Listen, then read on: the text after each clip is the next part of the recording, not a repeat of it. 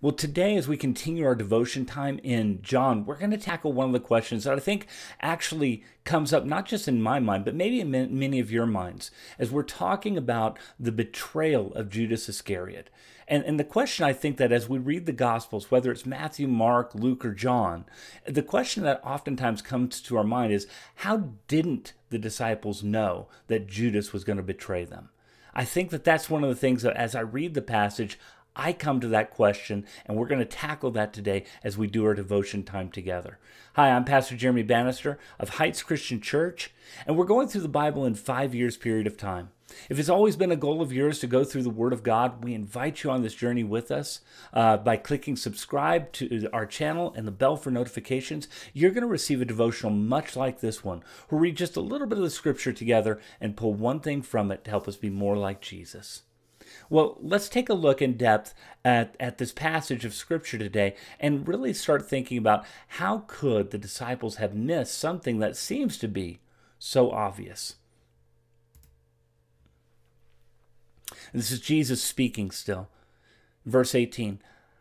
I'm not speaking of all of you. I know whom I, whom I have chosen, but the scripture will be fulfilled. He who ate my bread has lifted his heel against me. I'm telling you this now before it takes place, that when it does take place, you may believe that I am He.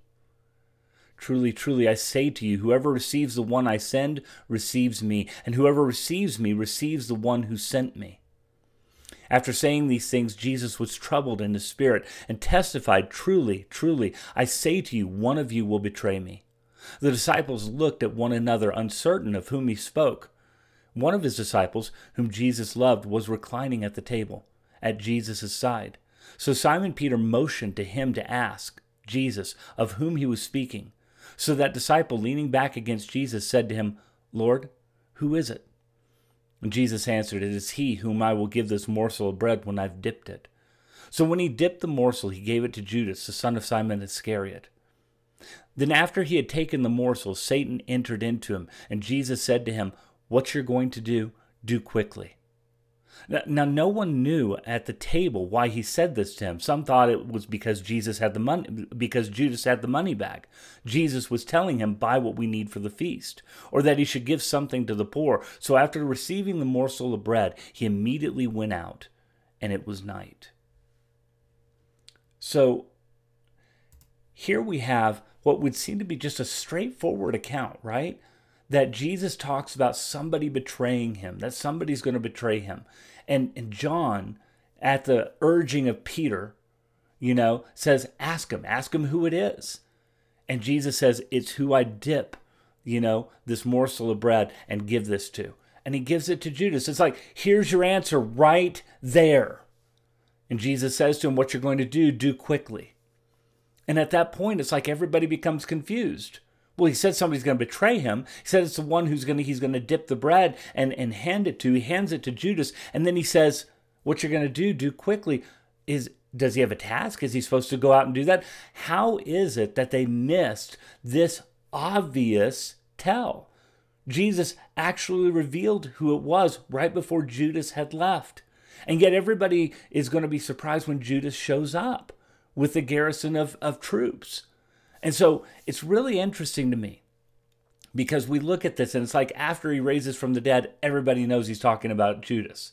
And, and I think that us reading from the outside looking in, we're like, well, you should have known ahead of time, right? All the accounts seem to say that it was Judas, and you can see it, and Jesus made it very clear who that was. And people should know that it was Judas, and yet everybody is caught by surprise. Except, of course, Jesus, who knew that Judas was going to betray him. How is that? Well, I, I, think there's a couple of things we need to think about. Number one is this Jesus often spoke in parables, parables that the disciples didn't understand. And so there are a lot of times that Jesus is teaching a lesson and they just don't quite get it. I mean, think about it. Peter has just been, you know, lightly rebuked by Jesus for not wanting to have his, uh, you know, feet washed by Jesus because Jesus was teaching a lesson during this time. So Could it be that Jesus is teaching another lesson? And he hands something off to Judas, and then he has a task for him. And this really doesn't have anything to do with finding out who's truly going to betray him. And maybe the whole betrayal thing is only a uh, metaphor anyway. Maybe we're trying to figure that out. I think there's a part of that that's going on, and we have to recognize that Jesus often stupefied his disciples in his teachings and often did the unexpected thing. So, again, here, a straightforward answer might not necessarily be a straightforward answer. But I think there's also another thing that we need to look at. It's that, as Pastor Mark would often say, we are experts at self deception, right? Uh, we, we can never take for granted the idea that we will deceive ourselves into not seeing things that are truly obvious. And and the truth of the matter is we see this sometimes in courtroom cases. You'll see courtroom cases of, you know, young young boys who have done heinous crimes. Maybe they're part of a gang or they've killed somebody or they've done irre- irreparable damage to somebody else. And in the courtroom there's all of this evidence, but then there's this mom and this dad or this community that comes by and says, "But they're a good boy."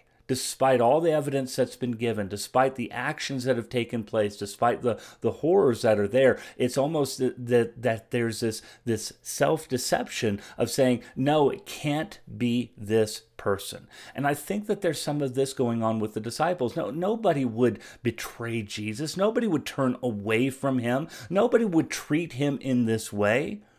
Uh, there, there's this idea of self deception that even though Jesus is revealing it, no, none of us, none of us, there's nobody here that has those character qualities.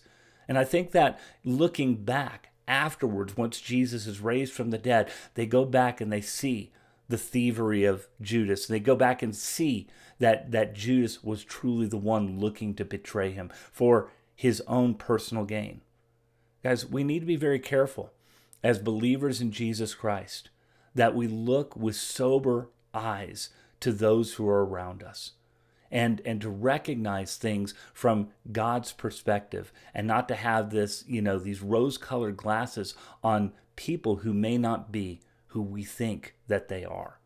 So let's compare all things to scripture. Let's compare all things to the things that are that are actually set out before them and not have a differing standard, or else we will find ourselves self deceived like the disciples were, not seeing the traitor within their midst.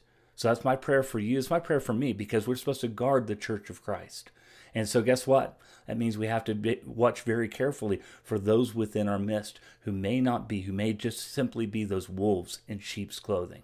So, Let's that, let that be a uh, lesson for us that if it happened to the disciples who were with Jesus, it can happen to us as well.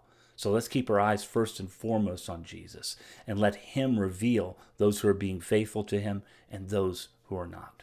I hope that helps you today, helps up me today, and it gives us the courage to expose those who may not be walking with Christ the way they should.